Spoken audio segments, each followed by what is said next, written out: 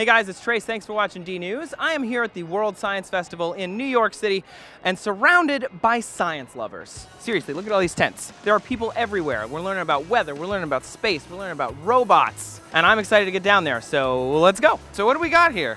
So, this is a Van de Graaff.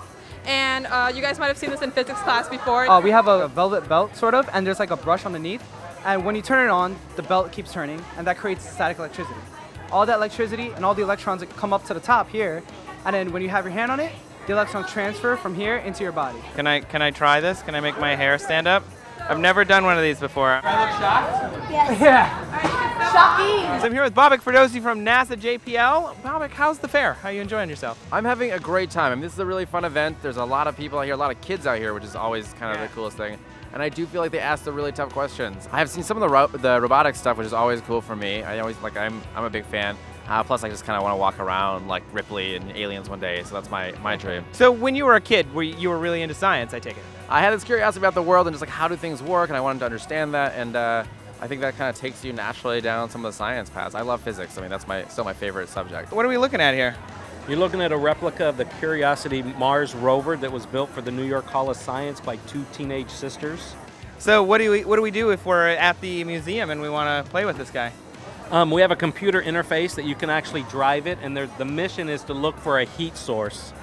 And um, if heat usually indicates a source of life. So if you find the heat source and you complete the mission, there's an extra surprise for you. But I w- I won't say any more than that. Oh, it's a secret. What are we looking at here? Today we're teaching the kids about weather, how to predict weather, and then we also are showing them uh, the Coriolis effect of the Earth. What is the Coriolis effect? So it has to do with uh, how the Earth spins and why, uh, for example, a hurricane spins in a certain direction in the northern hemisphere compared to the southern hemisphere.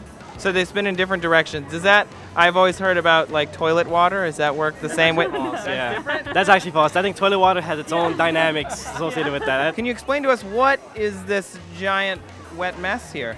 This uh, is a river simulator. When we teach usually middle school, high school, and college students uh, how river systems work, sometimes we introduce food coloring to be representing contaminants.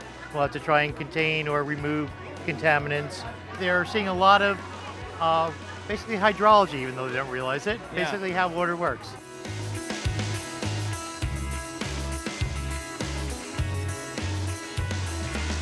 So that's it for us here at the World Science Festival. We saw a lot of really awesome stuff. So let us know what was your favorite thing and tell us what got you interested in science in the comments down below. Make sure you subscribe and thanks for watching D News. See ya.